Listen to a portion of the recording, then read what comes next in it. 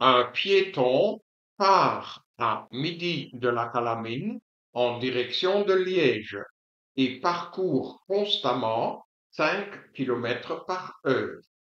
À 16 heures, un cycliste roulant à la vitesse constante de 15 km par heure le suit. Quand et où rencontrera-t-il le piéton? Comme corps de repère, nous prenons la Terre. La vitesse V1 du piéton est de 5 km par heure.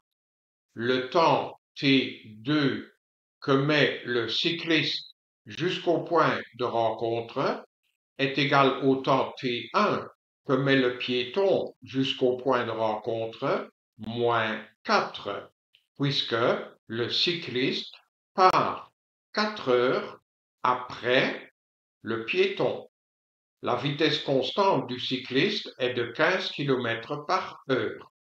Nous pouvons dire que nous cherchons la distance D1 entre le point de départ du piéton et le point de rencontre des deux, distance que nous exprimons en kilomètres. Et nous cherchons également le temps T1 que met le piéton du point de départ jusqu'au point de rencontre. Et pour trouver cette distance en kilomètres et ce temps en heures, nous appliquons la formule V égale D sur T dont nous déduisons que D est égal à V fois T.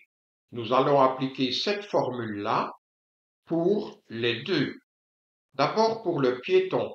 Cette formule dit que D1 est égal à V1 fois T1. Et nous pouvons remplacer le V1 par 5, comme ceci. La même formule pour le cycliste donne Normalement, D2 égale V2 fois T2, mais la distance entre le point de départ et le point de rencontre est la même pour les deux, ce qui signifie donc que D2 est égal à D1. Dans cette égalité-là, nous pouvons remplacer le V2 par 15 et le T2 par T1 moins 4. Voilà, c'est fait nous pouvons déduire de ces deux égalités que 15 fois T1 moins 4 est égal à 5 fois T1, comme ceci. Nous pouvons simplifier cette équation par 5 et ensuite distribuer le 3 sur ces parenthèses. Ainsi, nous obtenons cette équation-là qui mène de suite vers T1 est égal à 6 heures.